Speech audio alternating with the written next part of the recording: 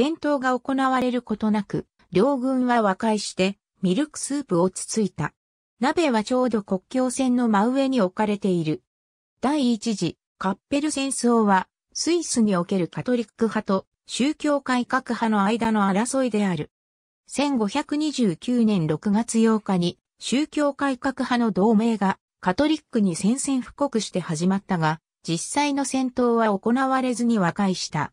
和解の際に両軍の兵がミルクスープを共に食したことから、ミルク戦争の異名やカッペルのミルクスープで知られている。当時のスイスは、チューリッヒやベルンなど、各地の有力な都市、地域が都市国家の様相を呈していて、13の国が同盟を結んで成り立っていた。各方は従属地域を持っており、複数の国の共同支配地も広く有していた。チューリッヒの宗教改革家フルドリヒスビングリに率いられ、スイスでは1520年代から宗教改革が始まった。改革派はスイスの東部諸州に急速に広まり、スイスの伝統的な森林諸州のカトリックと対立するようになっていった。ツビングリはプロテスタントの国を率いて独自の勢力を形成しようとしたが、これはスイス13国の分裂を意味した。宗教改革派の東部諸州がドイツの諸都市と軍事同盟を結ぶと、カトリック派の森林諸州もオーストリアと連合して、これに対抗、両者の緊張が高まって1529年6月に戦争になった。しかし、実際には戦闘が行われることなく和解に至った。この和解はチューリッヒに近いカッペルの村で行われた。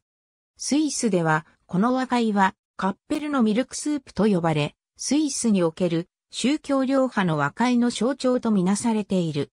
ツビングリエコランパッドスイスでは、ドイツ語を話す地域を中心として13世紀末に結成された都市同盟が発展し、14世紀には製薬同盟となった。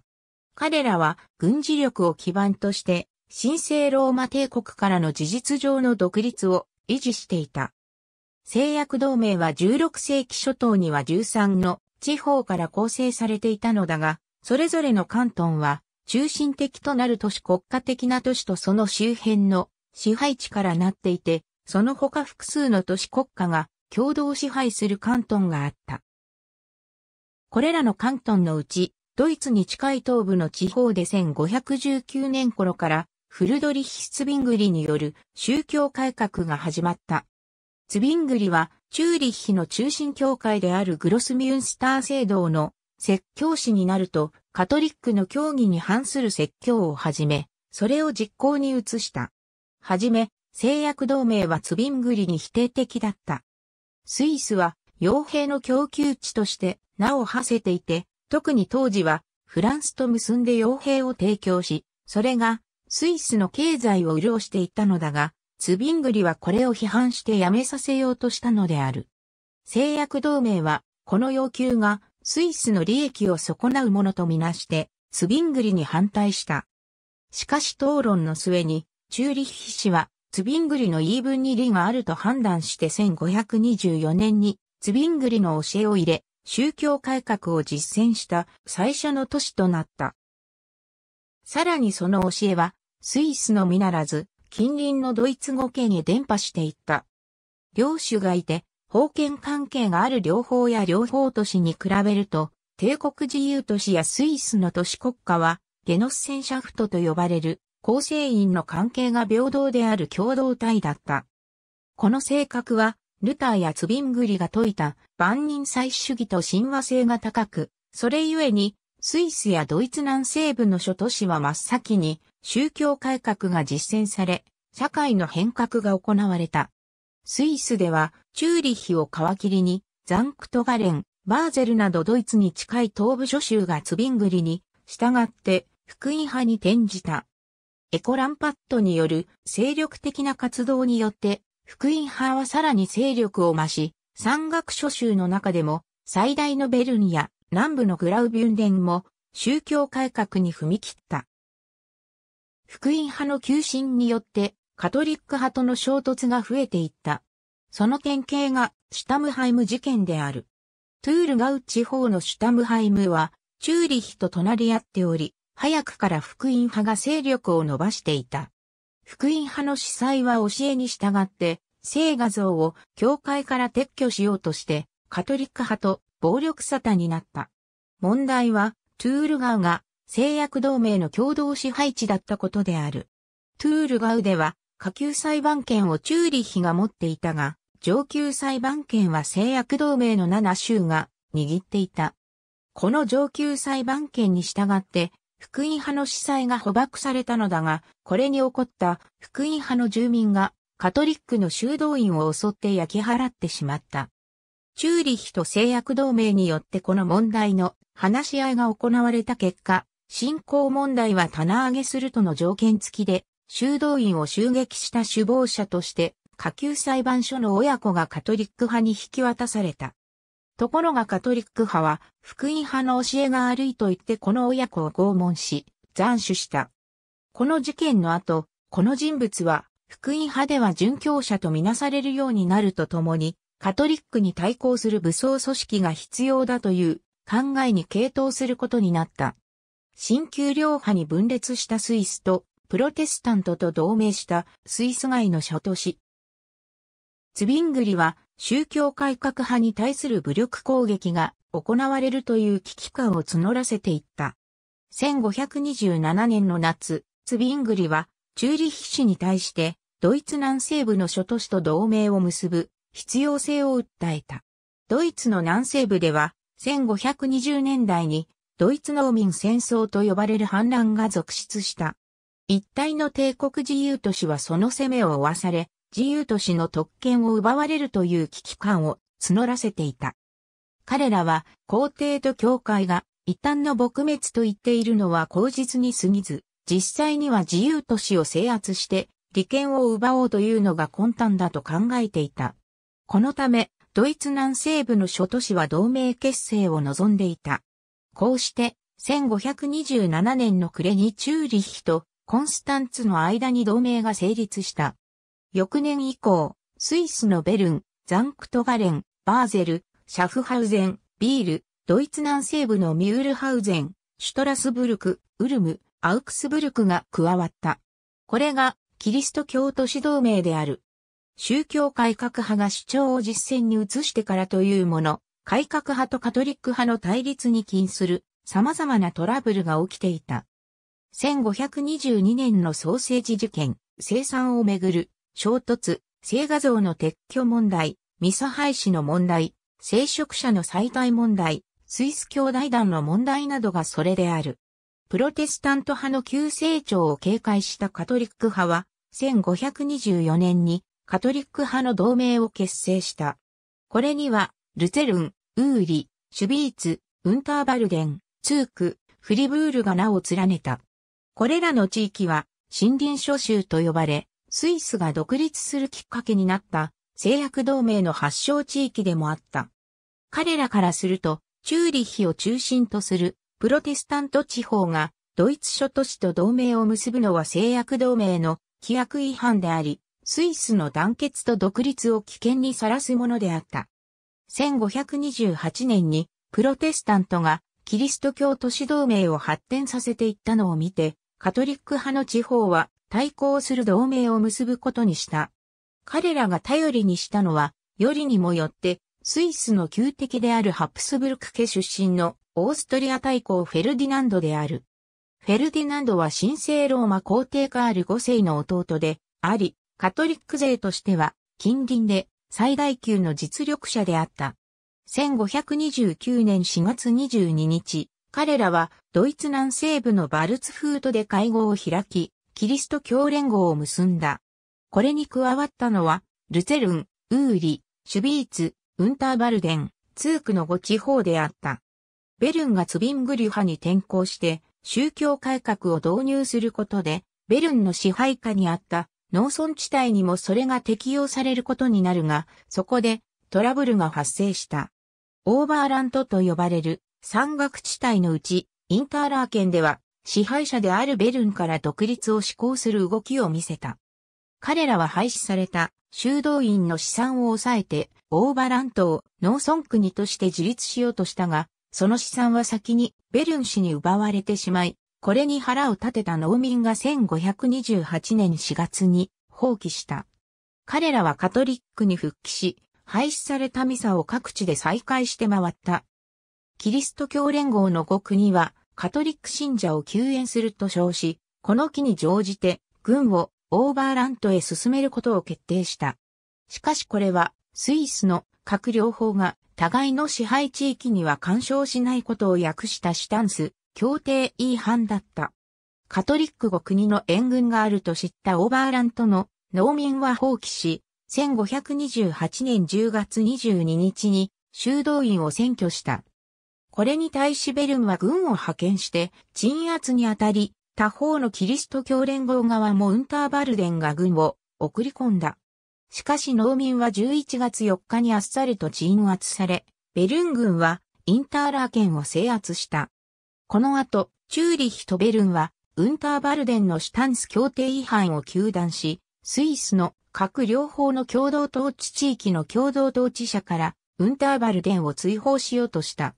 しかし、カトリック後、国側はこれに応じず、両者の対立は、武力衝突寸前まで高まっていった。両派とも後ろ盾を得て、相手を挑発するようになり、対立は悪化した。1529年5月、福音派のチューリッヒ勢は、共同支配地のトゥールガウ地方でカトリック派の執行官、マクスウェールリを捕まえて首を跳ねた。カトリック派はこれに対抗し、5月29日にチューリッヒのヤコプ・カイザーという牧師を拉致し、シュビーツへ連行して火炙りにした。ここに及び、チューリッヒは6月8日にカトリック5州に対して宣戦布告を行った。チューリッヒには同盟各地から3万人の兵力が集まった。一方の連合側では当てにしていたフェルディナンドが援軍を送らなかったので、急戦しか兵がいなかった。チューリヒ軍を率いるのはツビングリである。ツビングリはスイス東部の用地を確保した上で、自ら4000の兵を率いて、チューリヒからカトリックの地方であるツークへ軍を進めた。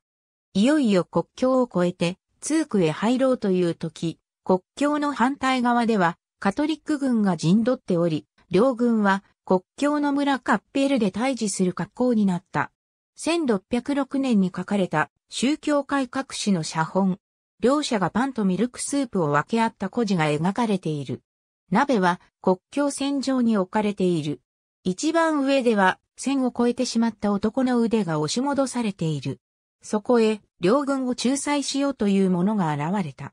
いずれの同盟にも組みしなかった中立州グラールスの主張であるハンスエブリア、帝国自由都市、ウルムなども交渉に加わった。仲裁者たちは戦死者の妻や子供の悲惨さを訴え、スイス内部の分裂は外部が付け込む好きになるだけだと説いた。この交渉を待っている間、両軍の兵士たちから一部の者が前に出てきて、国境線のちょうど上になるところで火を焚いて、鍋を出し、それぞれがミルクやパンを持ち寄って交換し、ミルクスープを作り始めた。この光景を見た両軍の代表者たちは、兵士たちに戦意がないことを悟り、矛を収めて休戦することを決めた。この和解によって、ミサの廃止や、布教の自由が認められることになった。仲裁に当たったイブリはその場で、キリスト教連合がフェルディナンドと結んだ契約文書を破り捨てたという。この後、両軍の兵士はミルクスープを分け合って食べた。この故事はスイスにおける新旧領州派の和解の象徴となった。1529年秋のマールブルクの会談でも、ルターとツビングリは歩み寄ることができなかった。1531年秋の第二次カッペル戦争でツビングリは殺され、その死体は八つ咲きにされて、糞尿と一緒に焼き捨てられた。この合意は1529年6月26日に文書化されており、第一次カッペルの和議やミルクスープの和解などと呼ばれている。この合意はカトリック側から見ると政治的にも経済的にも勢力を縮小することになり、情報を余儀なくされた形となった。一方のツビングリからすると、武力で制圧してでも宗教改革をスイス全土に広げたいと考えていたので、その野望がついえたことになった。こうして、武力衝突はひとまず避けられた。この後ツビングリは、ヘッセン法伯フィリップ一世が治めるマールブルクに赴いた。ヘッセン法伯は、ザクセン選定校と並んで、ルターを庇護して宗教改革を進めるドイツプロテスタント諸校の代表格である。ヘッセン法伯はマールブルクに各地の宗教改革の指導者を呼び集めて宗教会議を行い、福音派の大同団結を実現する目論みだった。それがうまくいけば、プロテスタント勢力は神聖ローマ皇帝カール5世をしのぐ大勢力となるはずだった。ルター派からは、ルターとメランヒトン、ツビングリ派からは、ツビングリとエコランパッドが会議に出席した。しかし、ルターとツビングリは、生産をめぐる見解の相違から、どうしても手を結ぶことはできなかった。フィリップ一世は両者に勝利を捨てて、大道につくことを求めて個別に話し合ったが、それは叶わなかった。そうこうしているうちに、マールブルクでペストが発生し、会議は急遽解散となった。両者が折れ合うための機会は、翌1530年夏の帝国議会でも設けられた。しかしこの時も妥協はできずに、物別れとなり、ルター派はアウクスブルク信仰告白を、ツビングリ派は信仰の弁明という別々の主張を行うことになった。スイスのツビングリュ派とドイツのルター派の大連合はついに実現せず、ドイツではシュマルカルデン同盟が結成されることになった。同盟相手を失ったツビングリは、イタリアやフランスと手を組むことを模索するが、それもうまくいかず、チューリッヒでの求心力も低下していった。1531年秋に、再び新旧両派の対立が激しくなり、第二次カッペル戦争が起きた時には、チューリッヒは以前のような大軍を集めることができなくなっていた。両軍は再びカッペルで対峙、今度は戦闘となり、ツビングリは戦死した。その亡骸は八つ咲きにされ、糞尿と一緒に焼き捨てられた。これを機に、スイスのプロテスタントと同盟していたドイツ南西部の諸都市は、スイスと手を切って、シュマルカルデン同盟に加わることになった。翌年からは、ジュネーブで、ジャンカルバンが宗教改革を始め、スイスの宗教会はドイツとは一線を隔てた道を歩むようになった。カッペル村の丘の上には、この孤児の記念碑がある。ただし、実際にカッペルのミルクスープが行われた場所は、この記念碑がある丘とは違う場所だったとする説もある。現在も、スイスの正式な国語は、シュワイズリシュエイジナセンシャフトである。スイス兵は盛況で知られており、マキャベリは、自著、戦術論の中で、スイスをローマの軍事的偉大さを唯一伝える存在と評している。スイスは神聖ローマ帝国の皇帝を出していたハプスブルク家にとっては家系の発祥の地であり、ハプスブルク家の支配からスイスが離脱するのを軍事力で抑え込もうとしたが、スイス兵の前に敗れて失敗した。さらにスイスは軍事力でミラノ公国をはじめ北イタリア一帯への侵略、略奪を行うほどの実力があった。ただし、名実ともに正式に独立となるのは、1648年のウェストファリア条約によってである。フルドリヒ・スビングリは、ドイツのマルティン・ルターとは、生まれた時期が2ヶ月ほどしか変わらず、同世代の人物である。ツビングリが行った宗教改革の主張は様々な点でルターと共通点があったが、ツビングリ自身はルターの影響を否定し、すべて自分自身で考えついたことだと述べている。しかし、後世の研究者には、ルターの影響があったのではないかと考える者もいる。両者の主張は、ルターやツビングリよりも100年前のヤンフスの主張とも多くの共通点があり、その影響下にあるとの見方もある。しかし、ルターとツビングリは生産をめぐる解釈などいくつかの点で意見の相違があり、直接の対話を行っても共闘関係を結ぶことはついになかった。ツビングリは若い頃にイタリア戦争に出兵したスイス傭兵軍に従軍主催として加わっている。ここでノバラの戦いやマリニアーノの戦いを経験した。野原の戦いは対峙した両軍ともスイス傭兵軍だった。マリニャーノの戦いではスイス傭兵軍が惨敗して多大な犠牲者を出している。この時ツビングリはカトリックの制約から自由になるためにグロスミュンスター聖堂の説教師職を辞し、チューリヒ市の参事会の直属の説教師となった。これによりツビングリはチューリヒで自由に説教ができるようになった。ドイツとスイスの国境は、ボーデン湖を通っている。コンスタンツはその南岸にある都市で、ドイツの飛び地上になっている。AB スイスの製薬同盟では、製薬同盟に加盟する関東の承認なしに、加盟者が外部と同盟を結ぶことを禁じている。キリスト教都市同盟のドイツ語名のバーガークタという語は、この規定に抵触することを回避するために選ばれた語だと考えられている。英語訳では製薬同盟はカンフェダーシー、キリスト教都市同盟はユニオンの語が当てられている。復活祭では40日前から肉食を断つという習わしがあった。これに反して3月22日にソーセージを食べた者がいて、コンスタンツ司教やチューリッヒ氏がその者たちを罰しようとした。しかし、彼らがソーセージを食べた場に同席していたツビングリは、聖書では禁止されていないと主張して、彼らを弁護し、社会問題へと発展した。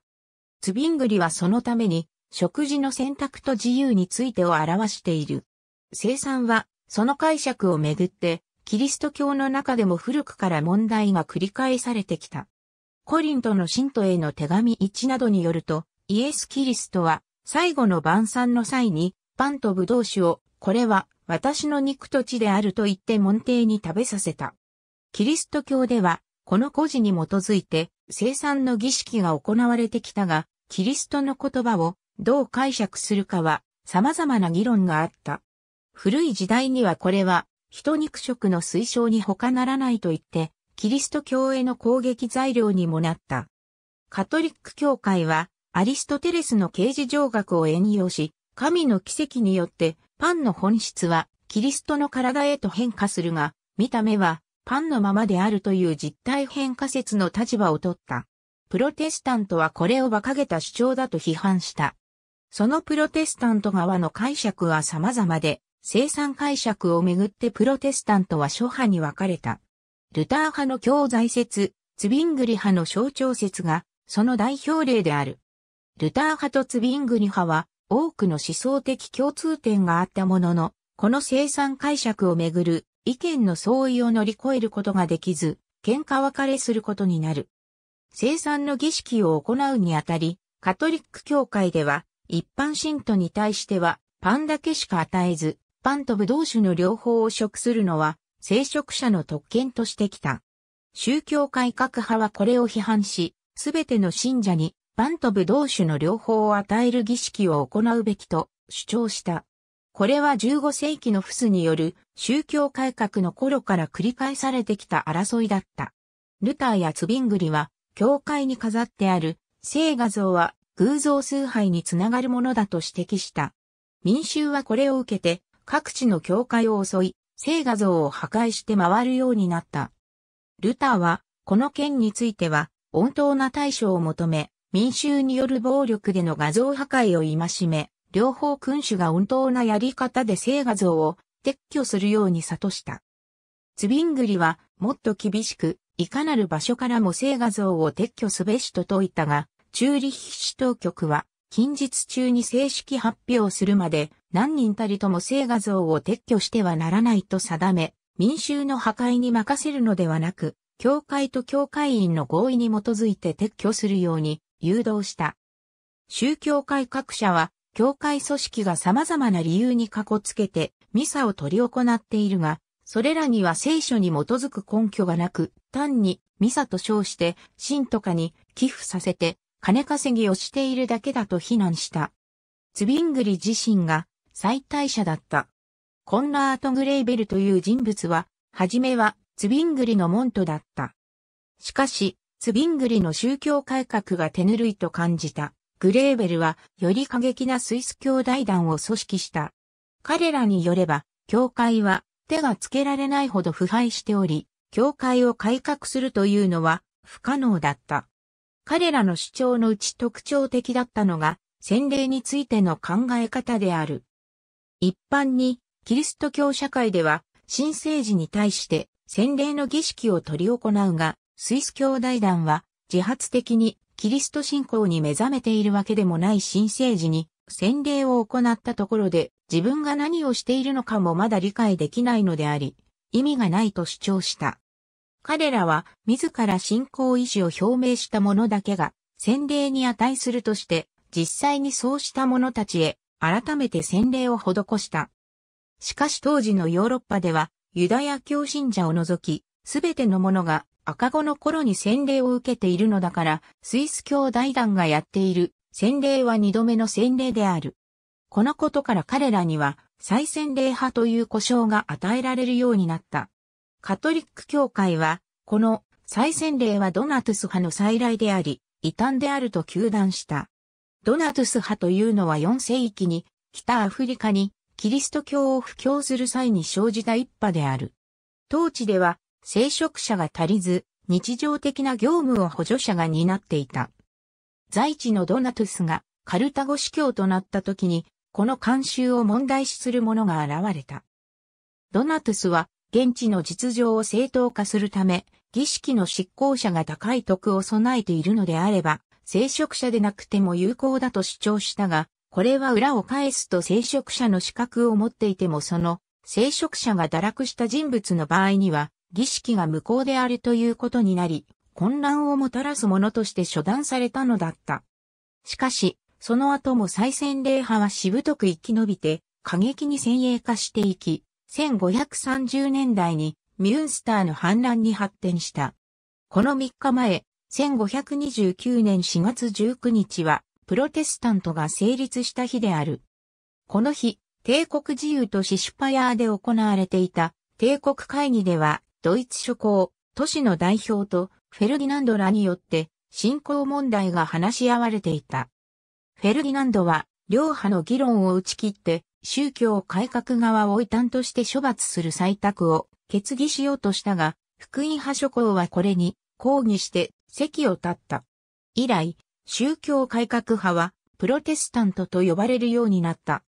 ドイツ語のクリストラシャ・ファーイニガングの日本語訳には、キリスト教連合、キリスト教同盟などがある。本校では、プロテスタントのキリスト教都市同盟との区別のため、キリスト教連合の訳語に統一する。ツビングリの名目上の立場は従軍牧師であるが、実際には最高司令官だった。ありがとうございます。